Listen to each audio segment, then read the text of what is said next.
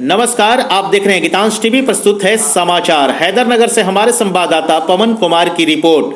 हैदरनगर देवी धाम मोड़ के पास दो मोटरसाइकिल की ज़बरदस्त टक्कर हुई, जिसमें लोहरपुरवा निवासी भीम मेहता घायल हुए हैं। जिन्हें बेहतर इलाज के लिए सदर अस्पताल मेदिनीनगर भेज दिया गया।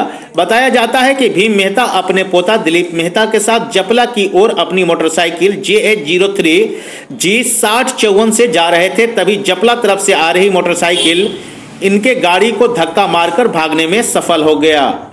धन्यवाद।